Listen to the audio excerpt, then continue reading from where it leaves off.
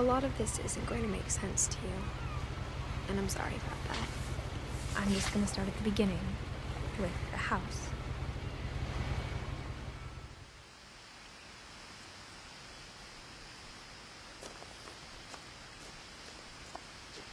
Someone had put up a chain link fence, but it looked like I wasn't the first person to hop it.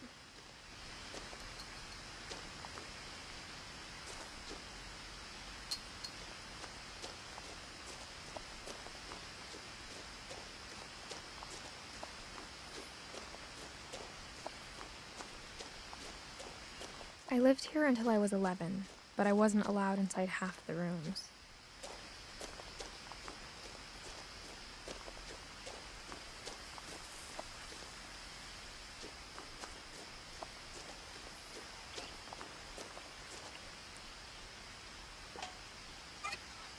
Inside the mailbox were bills from seven years ago, marked urgent, open immediately.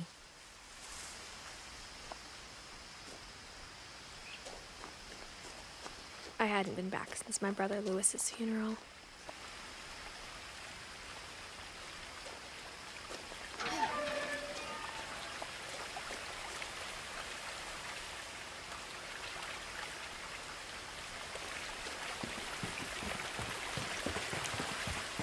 In her will, my mother left me a key, but didn't tell me what it unlocked. Maybe she thought I'd know. Or she thought that the mystery would be enough to bring me back.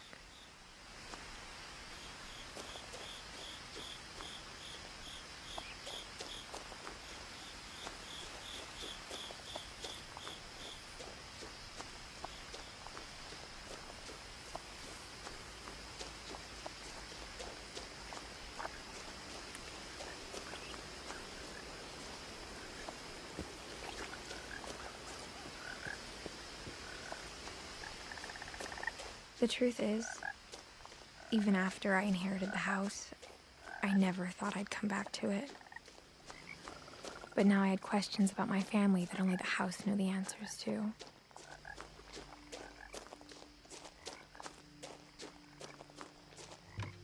The woods around the house have always been uncomfortably silent, as if they're about to say something but never do.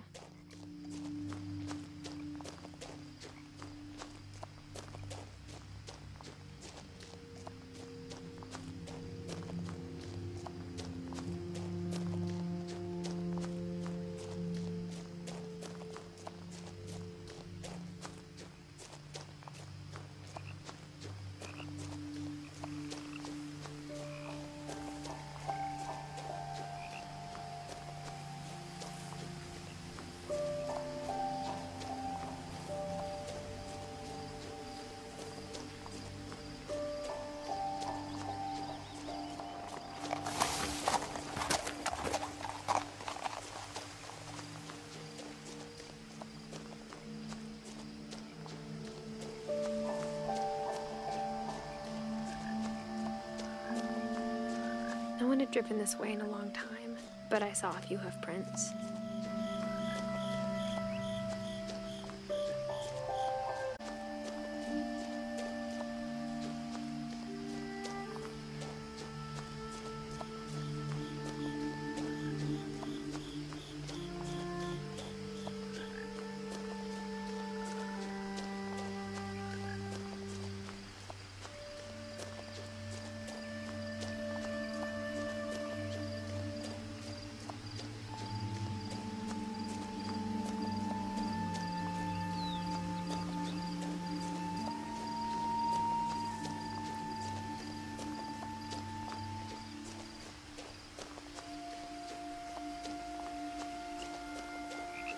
house was exactly like I remembered it, the way I'd been dreaming about it.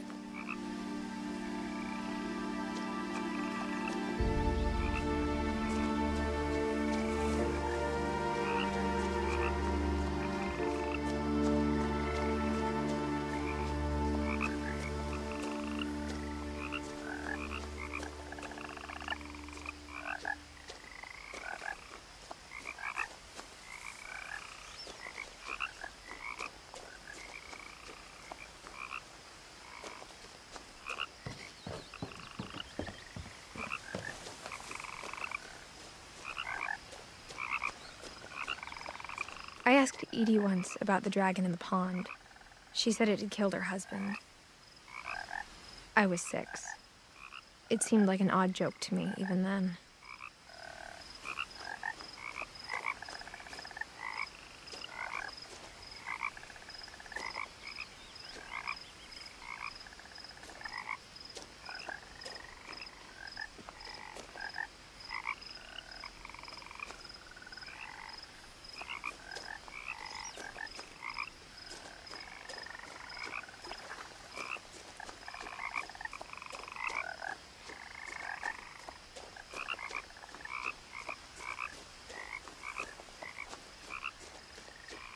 As a child, the house made me uncomfortable in a way I couldn't put into words. Now, as a 17 year old, I knew exactly what those words were. I was afraid of the house.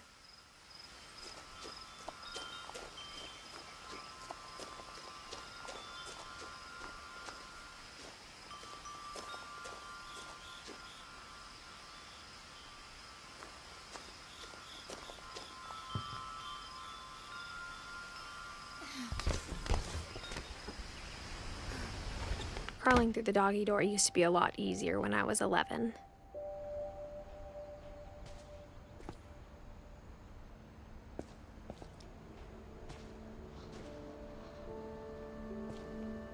The power had been turned off the night we left.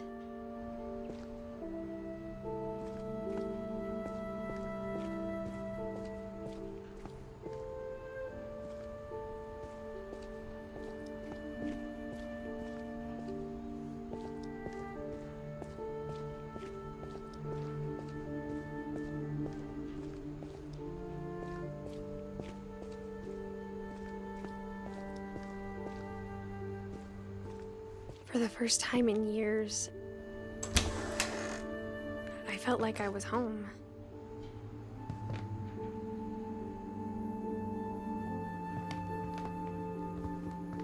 But instead of a family, there were just memories of one.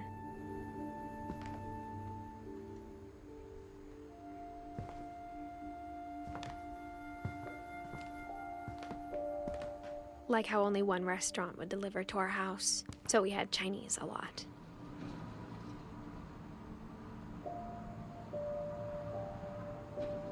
Or how after Lewis started working at the cannery, we all got sick of eating salmon. Except our cat, Molly.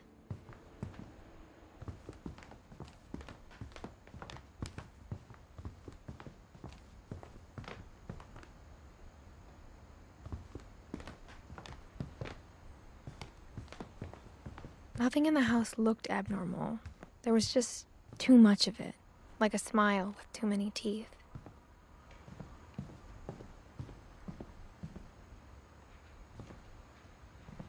My mom wasn't much of an optimist, but she never stopped believing that my brother Milton was alive.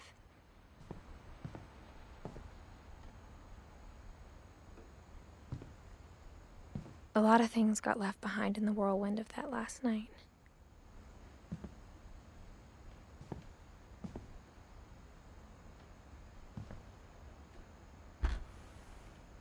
Edie told me once that every Finch who ever lived is buried somewhere in the library.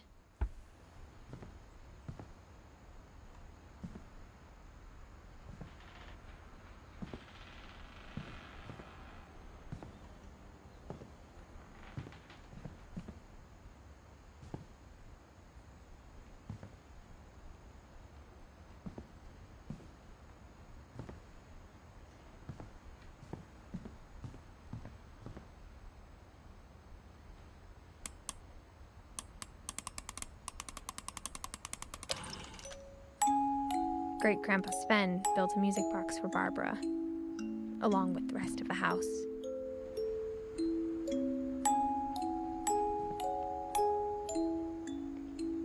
Mom always told me to stay out of the basement, so I wasn't too surprised when the key didn't fit.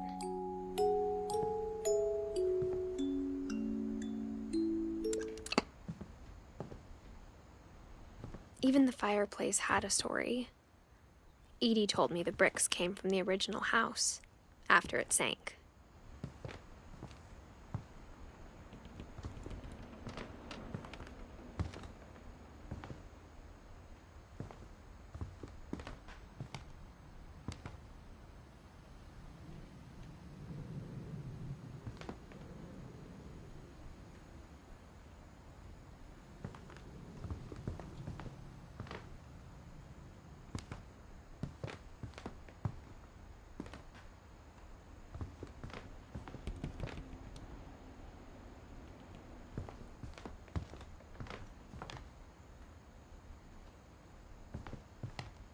Table was still a wreck from the night we left.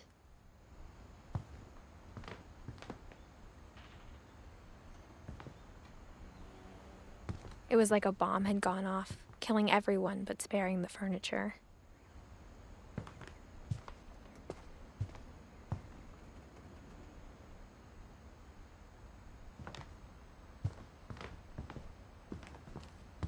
My mom was the only one of us who could imagine Great Grandma Edie living in a nursing home.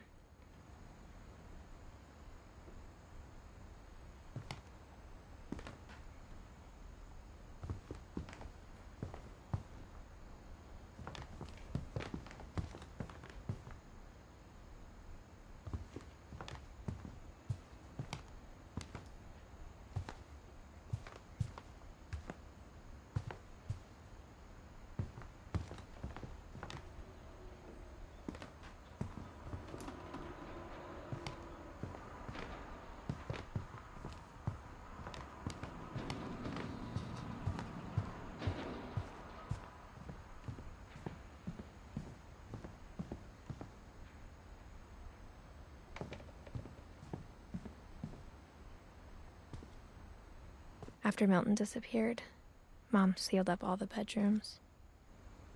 Then Edie retaliated and drilled peepholes.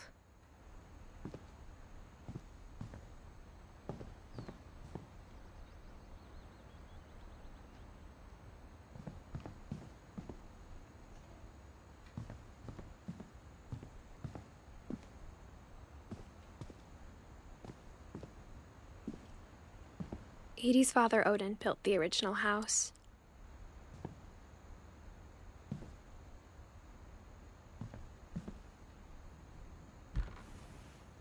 Barbara was a child star for two years, until America grew out of it.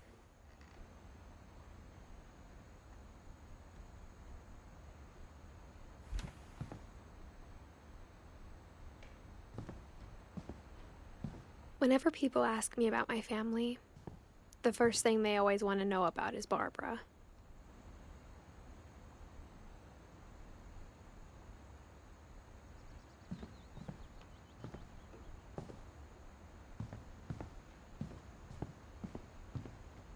I spent a lot of time playing in Great Uncle Walter's room. I think my mom sometimes regretted not sealing it up. Lewis told me there were secret passages, but I never believed him.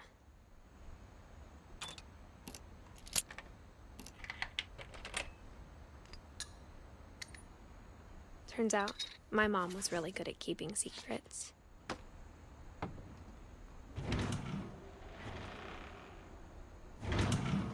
Now it was time to find out what my mom had been afraid of.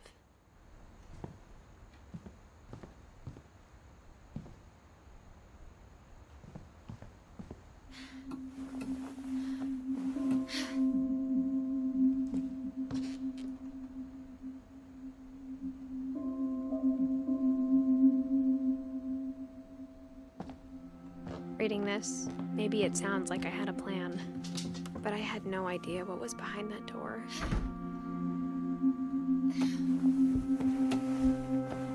Just like I had no idea where all this was gonna lead. I grew up looking at Molly's room through the peephole. Molly's gerbil had a tiny bedroom with its own even tinier gerbil cage. Being inside for the first time, I felt like I'd stepped behind a painting.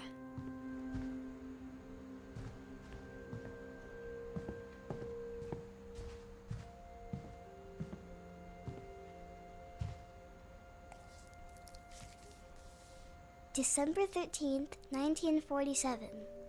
Dear Diary, I'll be gone soon, but I wanted to tell somebody about what's gonna happen. It started when Mom sent me to bed without dinner. I woke up and I was starving, so I looked around for something to eat.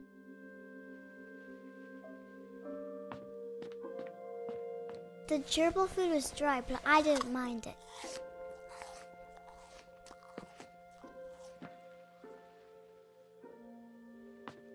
My Halloween candy was all gone.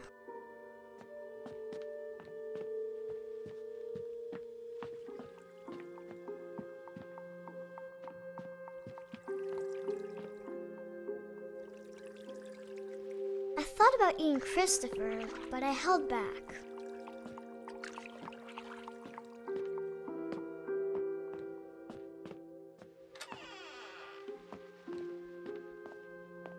I kept eating and eating.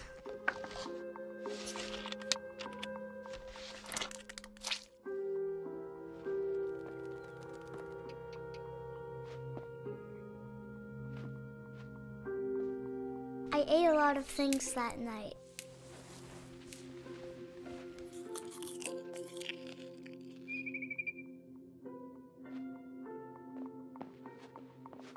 Then I heard chirping outside my window. It was a barn swallow going back to her nest. I reached out for her.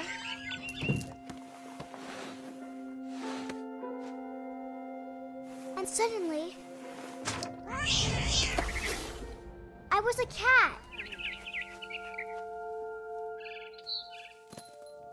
I tried to be quiet, but the bird was really scared.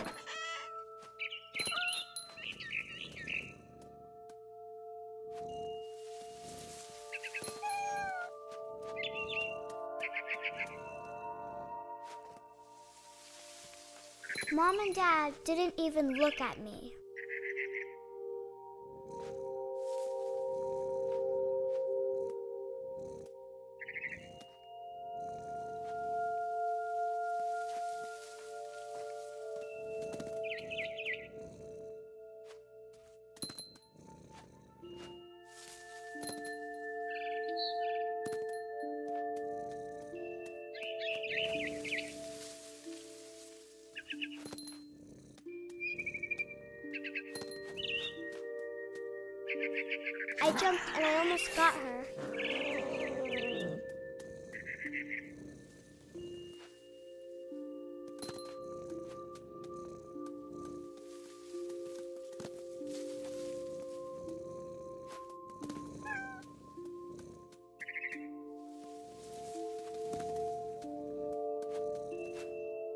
I could tell she was getting really tired.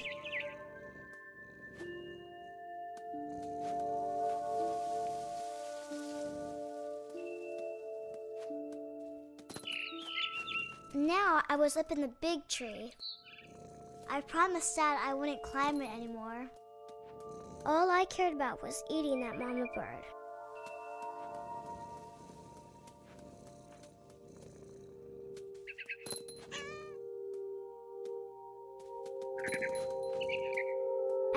Her up.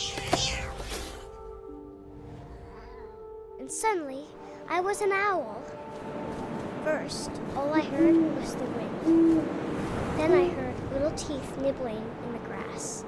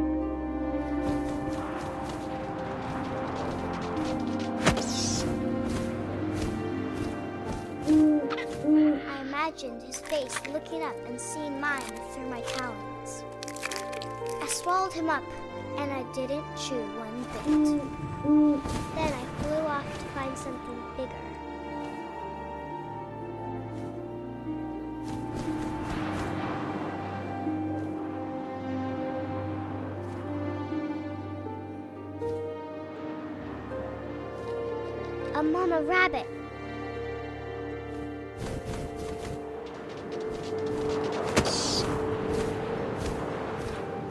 She was almost too big to carry. I started choking, but I couldn't stop eating.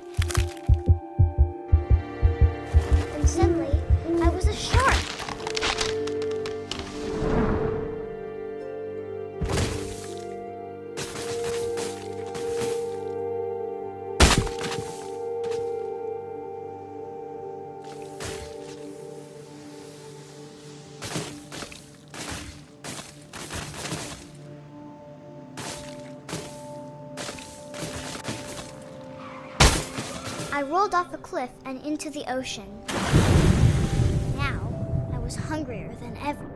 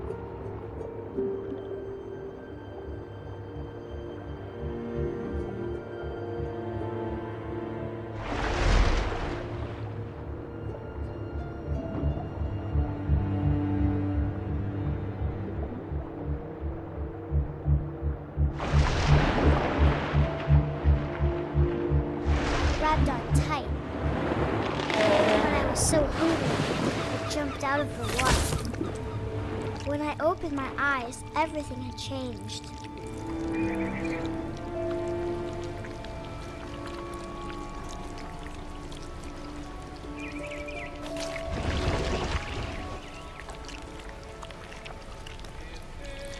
Now I was a monster and I smelled people everywhere.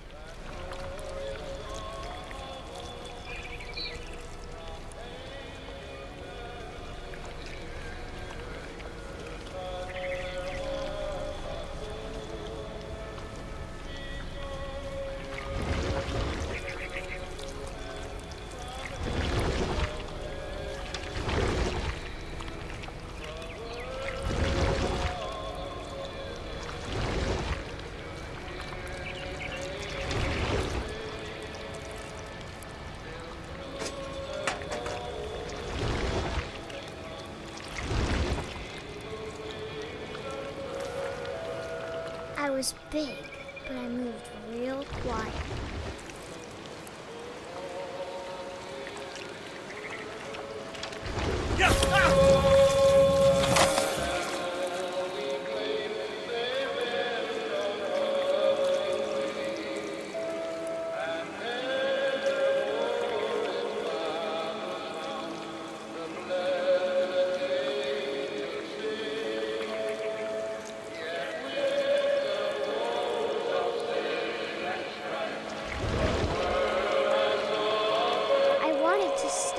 But also I didn't.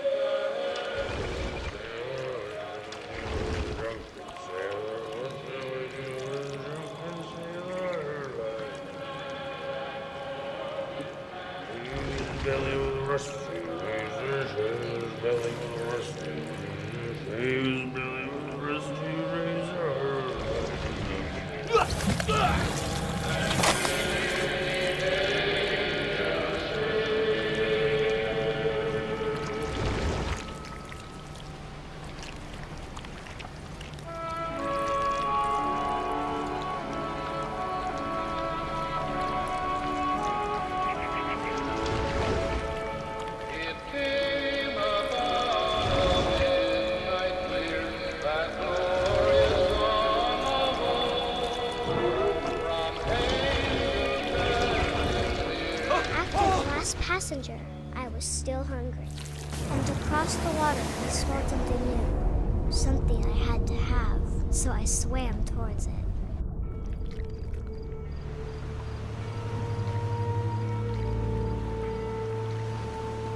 I slithered onto the sand, and the good smell went into an old pipe.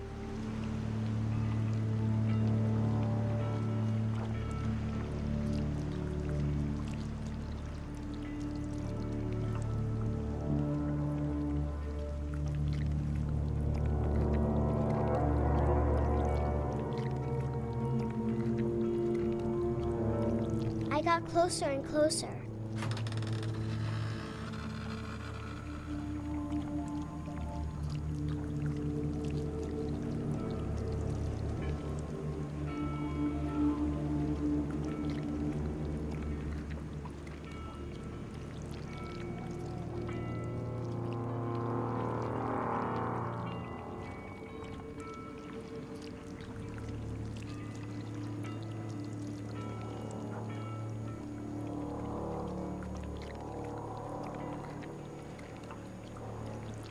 All my stomach started growling.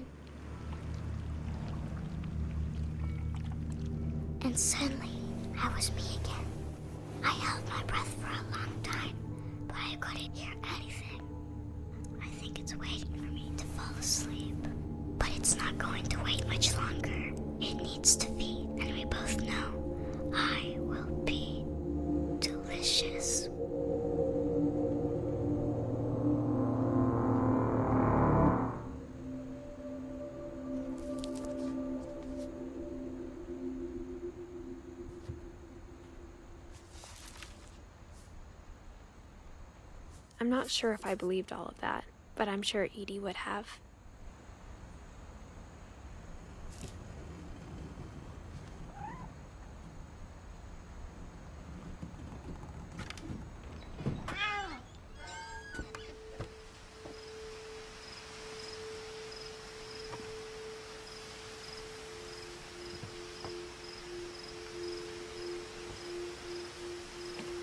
This will be obvious later, my mom never told me any of these stories.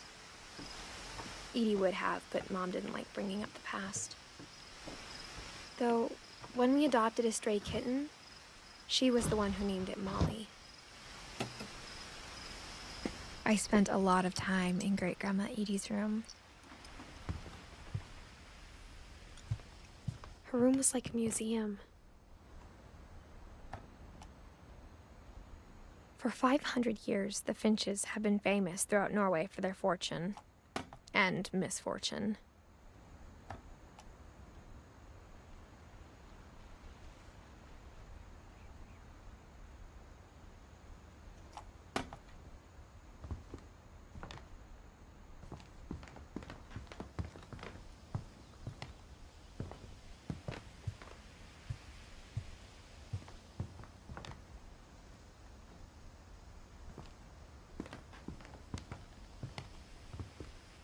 One summer, they evacuated the island, but Edie refused to go.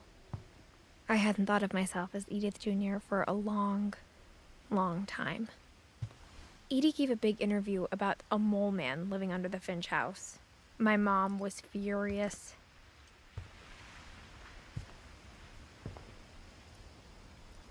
When Edie told people Sven was killed by a dragon, she could also have said he was building a dragon shaped slide that collapsed. She could have, but she didn't. Even in her 90s, sometimes Edie seemed a lot younger than my mother. The only trace Grandpa Sam's first wife, Kay, left on the house was the pink bathroom. It was a pretty.